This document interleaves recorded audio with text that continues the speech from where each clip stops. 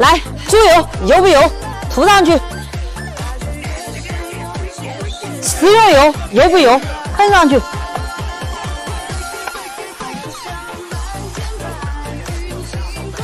它油不油？从车里面看一下油不油？